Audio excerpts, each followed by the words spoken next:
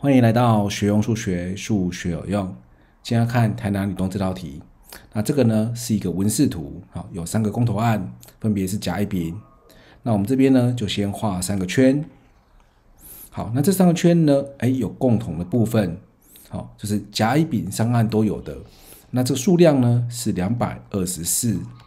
好，那接下来呃，每个人至少拿两张，所以这里是零，这里是零，这里是零。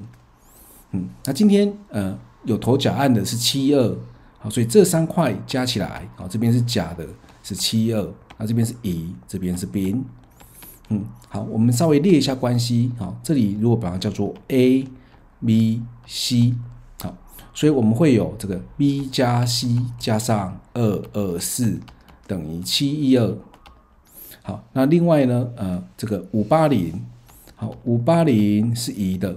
所以是 C 加二二四加 A，C 加 A 加二二四，好，然后六八六是这个丙的，所以这边是 A 加 B 加上二二四。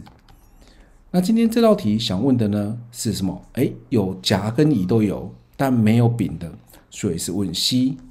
好，要求 C，我们可以用什么？哎，一四加二四扣掉三四。